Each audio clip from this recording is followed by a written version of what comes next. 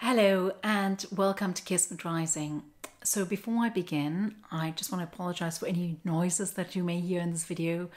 Um, the place that I'm living at at the moment is quite um, it's quite noisy, and unless I shoot this in the middle of the night, I can't really um, get out all the sounds. So um, I actually want to talk about uh, the energy at the moment. I want to talk about the energy as we come up to this full moon that we have this week on Tuesday. And I also want to talk about how we can best maximize the energy that we have during this lockdown period or during this time in which most of us are in isolation. And so, well, the first thing is that as we come into this full moon, you're going to find that some kind of love energy comes to the fore again. And you're going to find that it might be simply um, a glimmer of something from the past, which you may be reminded of.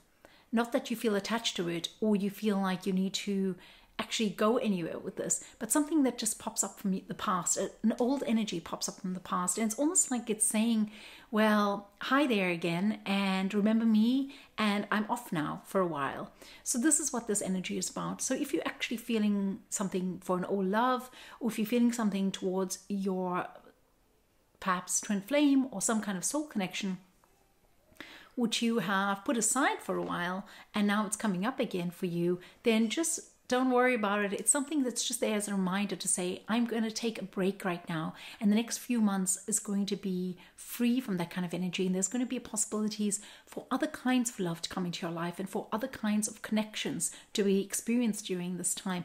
And so this is actually a very interesting period if you feel like you need to go deeper into that energy of soul connections or love, and you feel like you need to explore that a little bit more, then I would suggest that you simply do that from an internal point of view. So you don't necessarily interact with the person or try to find that the meaning in the connection with that person during this time, but that you feel that within yourself at this moment.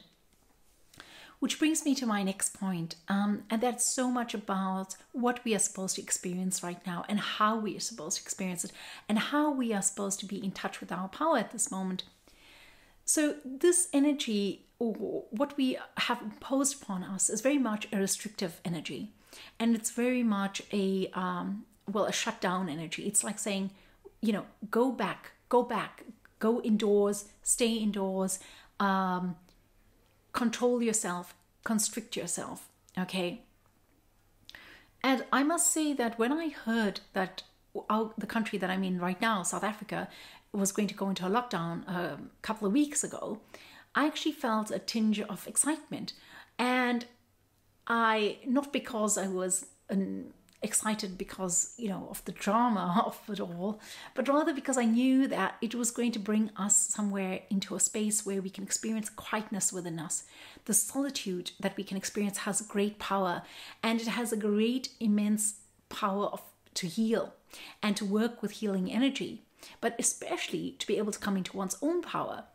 So in fact while governments may be saying to you stay indoors or stay away from everyone else. And you may think that this is a disempowering energy. It is actually a very empowering energy. And the, the trick is actually to use this energy in an empowering manner and not to get bogged down with the disempowering aspects of it, but actually to turn it inside out and make it work for you. And the way in which to do this is to experience the power that moves within you. So, however you do that, whether it's through movement, whether it's through painting, whether it's through, through speech, whether it's through some kind of medium, whatever it is, whether it's through ritual or ceremony, this is also a very good time for ritual and ceremony. However, it is, what you need to be led from is within you, within your core. You know, you need to be, it's like a Kundalini rising type of energy. You need to actually activate that. You need to work with the power that exists within you, within your core, and bring it up and bring it through you so that you can experience this, what is actually going on right now. So, what is this about? Well, it's actually interesting because you're not going to be able to access this energy by talking to people or by uh, engaging with others or by uh, coming together with others in a way, uh, whether it's virtually or physically. This is something that you can only experience not from um, you can only experience it from an intuit, intuitive point of view, from an instinctual point of view. It's some, something that you can experience from an intellectual point of view. So it, it's not it's not uh, managed by the brain or by rationalism. It's actually something that is moving within you, and you are moving with it. And it's something that you have to bring out from inside of you.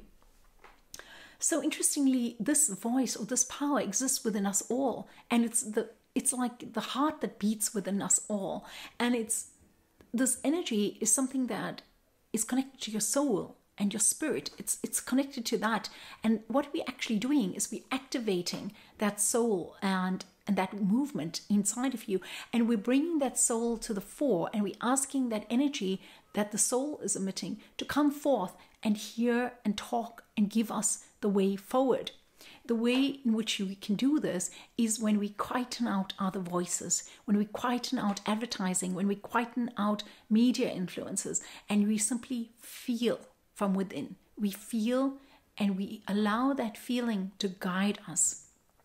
So, as I was saying, there are many ways in which to do this. And um, for me personally, I find that the best way to do this is to put on some music uh, which I feel that my soul resonates with. So, not something that I necessarily enjoy dancing to or necessarily enjoy uh, listening to, but something that my soul feels um, moved by. And as I have this, I allow it to help me move, and I move guided by this. That's just my way, right? So, others may find that drawing or paint, painting or doodling or perhaps um, fixing something, repairing something, or cleaning, or whatever it is that floats your boat, basically, whatever it is that brings you to that oneness in you, where you feel connected in that moment. You know, so with some people, it's simply fixing things and they feel like they're in this zone where they can actually uh, go ahead and, and feel connected to the universe in this moment. And so, what is important not to do? So, it's important not to escape. Escape. It's important not to watch loads of YouTube videos or go on, you know, a Netflix kind of run and, just watch t- tons of things because what you're doing at this moment is you're escaping and you are running away from what it is that you need to be experiencing right now. Because what we need to realize is that it's important for us to be able to come in touch with this power. And we've been given the opportunity to do that.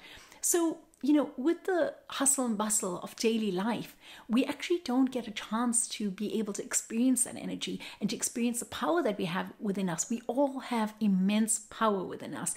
And it's now is a time, a very crucial time, and um, and kind of um, what is word I'm looking for?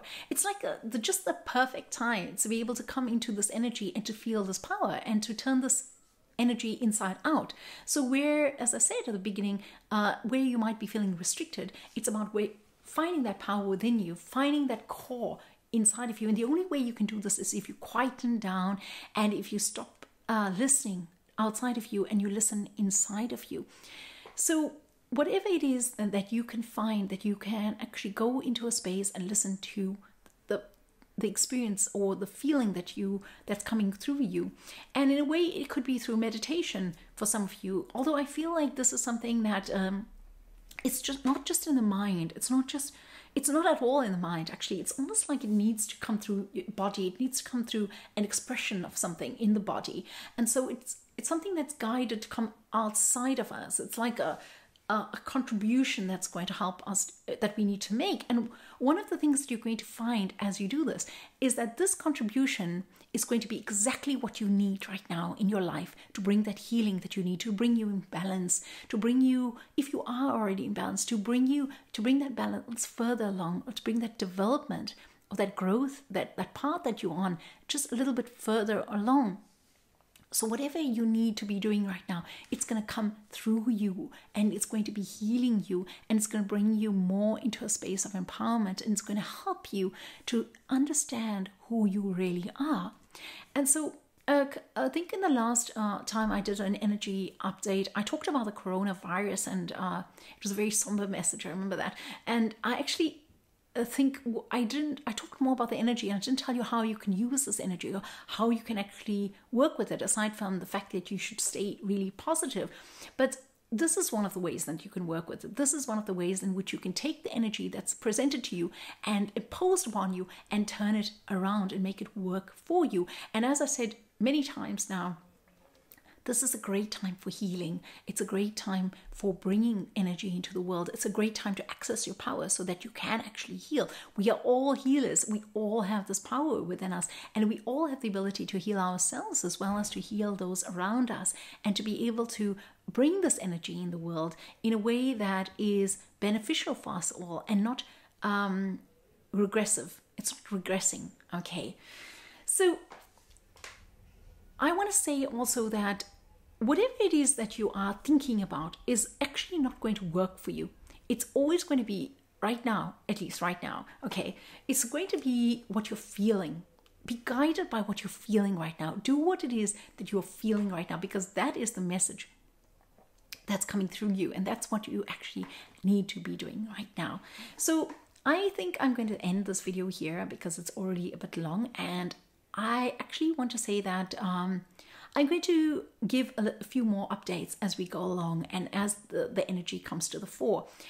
Um, oh, there's one more thing I wanted to say I think it's important to be able to feel the changes that are going on in your body, whether you're male or female, especially in the reproductive organs. Feel the changes that are going on in this moment because you're going to find in the next few weeks that there are that your body, your reproductive organs, or that area that is on this in the second chakra area is actually going to be talking to you and going to be advising you. It's going to be almost like telling you what it needs and how you need to be working with it.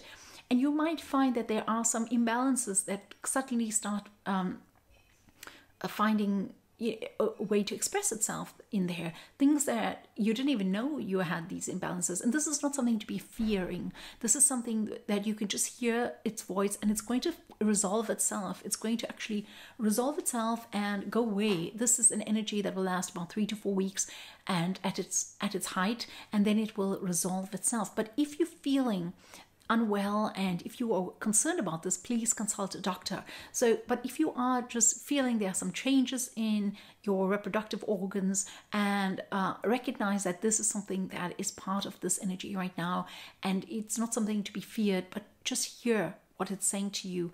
And uh, in many of those cases it might be saying well go to a doctor. But i think that for for most of us what it is saying is that um, there are some imbalances or injustices from the past which need to be brought into balance. And there's something here that needs simply to be resolved. And whatever is happening, it's almost as if it's an expelling of toxins that allows you to come into balance in that area.